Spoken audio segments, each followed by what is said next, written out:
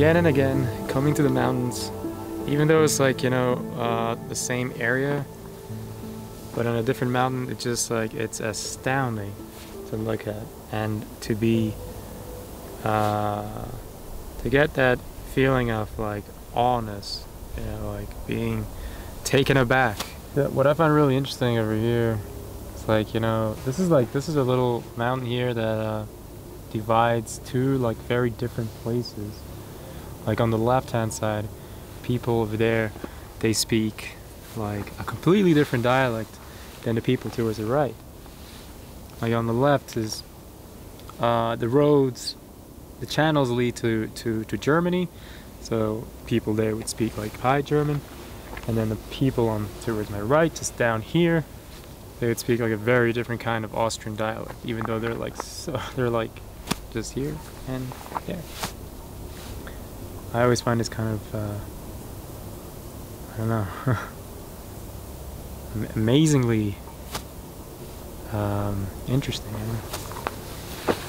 Ah, but yeah, we got here Widderstein on the left, and then Biberkopf, such a beautiful, beautiful vol volcanic looking mountain. Uh, all the way over there, the far end and, uh, and this is Arlberg. Arlberg. and then all the way in the back like even though it took me like an hour to come over here uh, I can see like where I where I live and it doesn't seem so far away from up here it seems very close by seeing all these mountains from up here like it's it's uh, makes the world look smaller and amazing.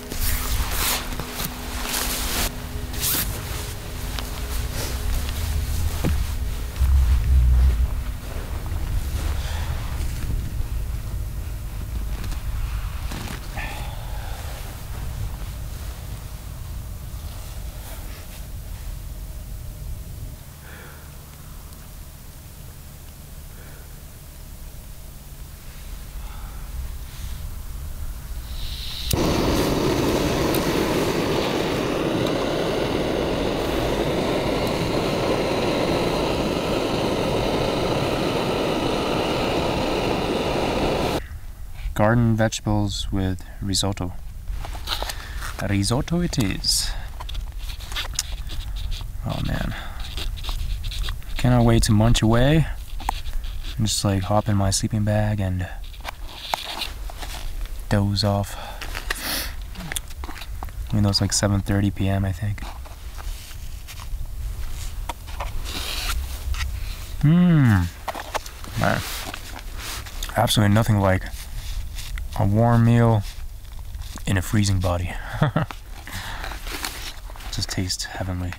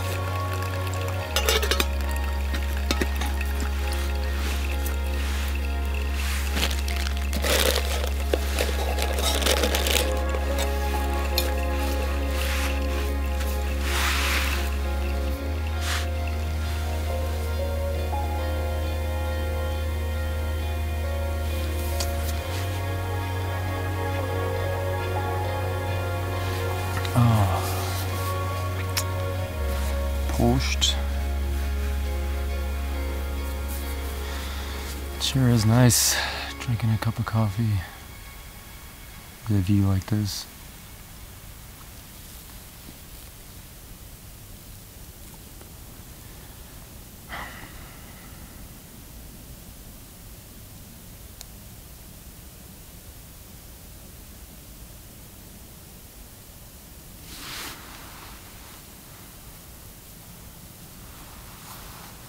I really love the the calmness and uh, the stillness that I feel when I'm doing something like this. It's almost as if I feel like uh, like I've adopted a different mind or something, like I'm a different person or something It really brings me down. It really makes me feel more I don't know if it's uh, if it makes me feel feel more myself or if it makes me feel the self that I really like. I'm gonna go with the first one. I think this because uh, I feel really really comfortable being how I am when I'm out here.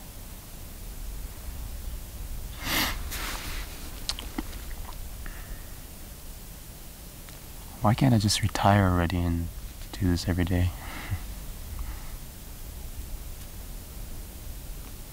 I tend to think like, uh, you know, if I were to do this every day, if I would have felt the same as I do now. I'm not quite sure. I, uh, I think there's an element to it, you know, when you when you don't do this too often, when you don't do a certain thing too often, you tend to uh, be attracted towards it a little more. And when you do it too often, you tend to forget the the feeling, the original feeling that you get from it. Being spoiled by gratitude.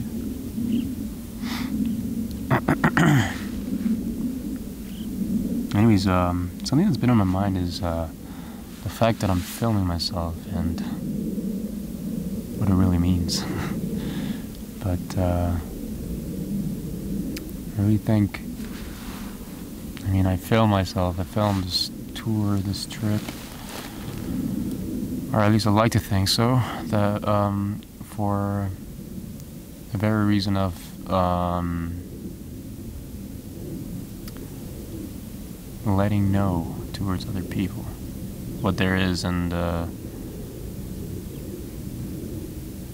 how a person can really attain this uh, sense of uh,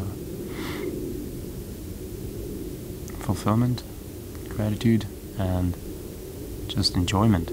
You know, are these like things that we that we seek in everything that we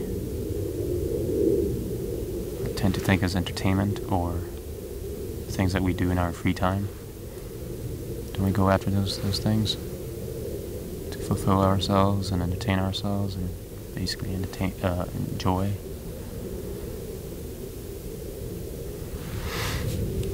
I think uh,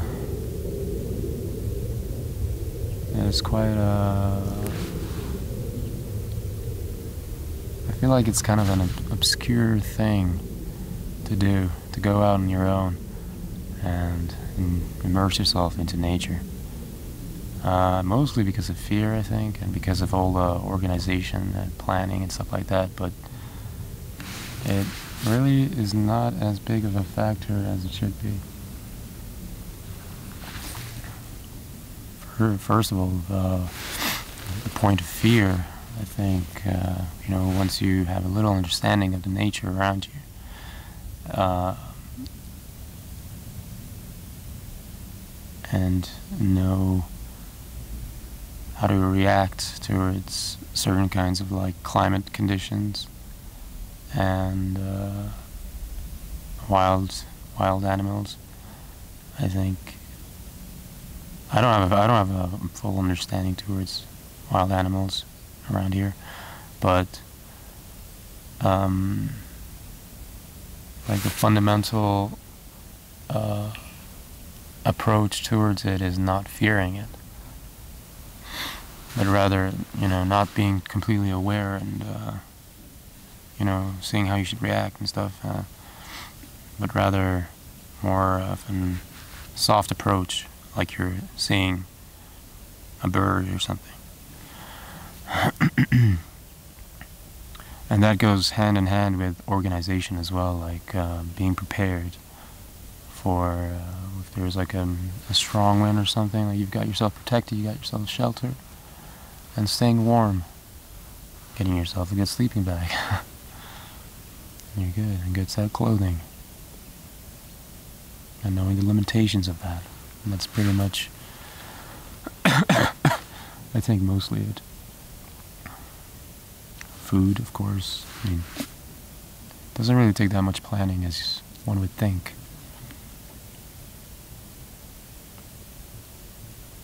And the reward you get from that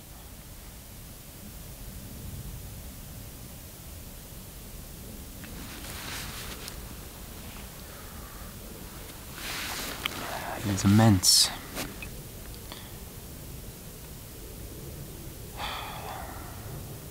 I mean, it's it seems silly or uh, you know unwantful to sit out here doing nothing but sipping on a cup of coffee, staring outside when you can do that at home. But uh, it's not the same. It's really not the same. Every little noise, uh, those vibrations that you notice, like within your within your house or whatever kind of adds an element of distraction or like an element of um, not really completely being there. And when you're out um, in a place where there's nobody, none of that noise that you get from when you're at home, sitting out on your balcony, and there's none of that, you uh, your focus tends to dive in to your surroundings. Uh, the surroundings of silence and uh, being here completely. Not saying that uh, that I'm always here, here. You know, like sometimes, yeah, I'm just you know trying to sort out my things in a tent or the camera, or you know trying to find a spot. And you know, I'm I'm kind of a I'm a little indecisive in those things. Like I always like you know go like hmm maybe this spot, hmm, maybe that spot, and I go back and forth. Or maybe uh, I want to place my tent in this server, server position or the other, and my focus tends to go on that. But it's all right. It's uh, it's all right. The moment when the moment I get when I'm sitting here, this moment of peace and quiet and silence is um, the overall um, I don't, I don't know if I want to say objective, but the feeling that I'm seeking.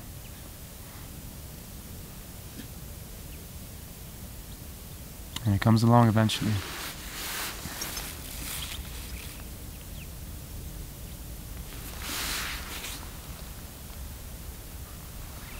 Of course, uh, talking to a camera does take an ele- a little bit of an element out of it, I guess, maybe, uh, in putting yourself completely into nature. So,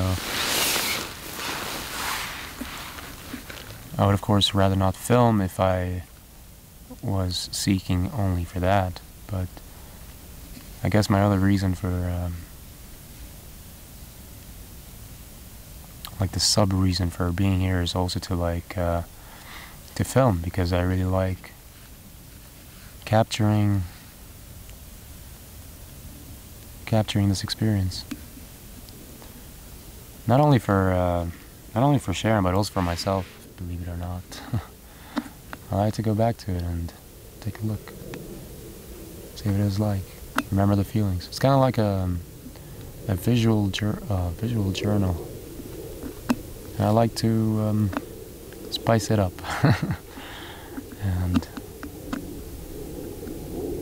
you know, make a nice one.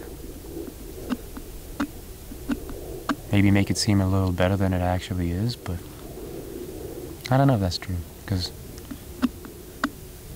what I what I uh, frame in my shots is the frames that I tend to see, and I want to capture it in the same way I see it. And that's the um, point of excelling in uh, the art of whatever you do. For me, in this case, it's filming, it's photographing, capturing. Capturing.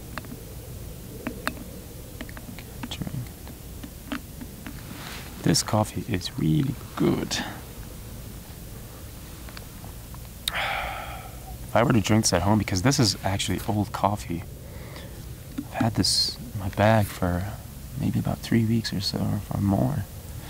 Usually I'd be like, oh no, that's too old. It's it's been airing through the bag for some time, and I don't. I would not notice a taste if I were to drink this at home at work.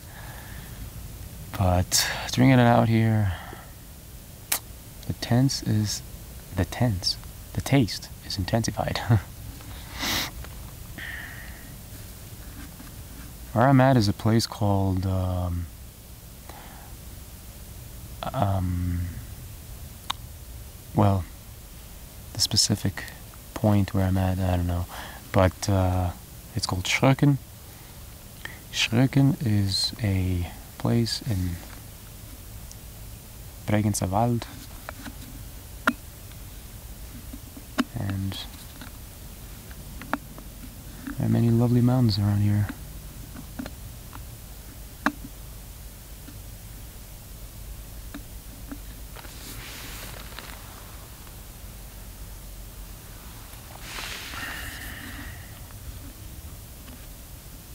I slept really, really fine. Like last night,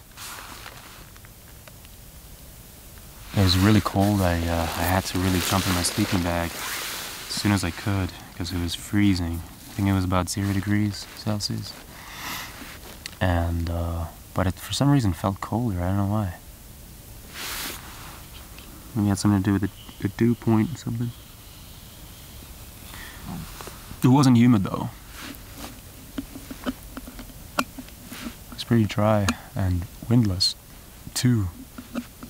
Guess one of those cold, windless nights. But I slept really fine. As soon as I got my sleeping bag, I felt really nice and toasty and slept throughout the night uh, quite easily and quite thoroughly. Sometimes I feel like I sleep better in this 50 centimeter wide sleeping pad. Uh, a pillow made out of uh, a dry sack.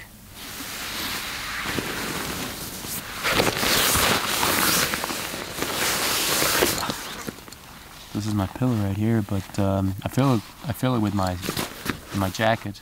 turns pretty nice and plush, and uh, I sleep really, really fine. I feel like mattresses are one big scam. But I don't know. I, I, if you were to ask me if I were to sleep on the sleeping pad at home, the answer is no.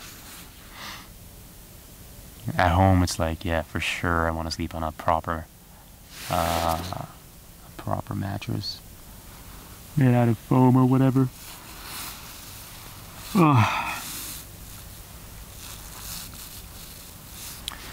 Anyways, um, gonna pack up and start heading down think I'm gonna skip breakfast because I'm not hungry at all. I've got some oatmeals, but I don't know. I'm just not feeling it at all. I feel pretty, pretty satisfied, satiated, and uh, I'm gonna go down to this lake called Körbersee. Really beautiful.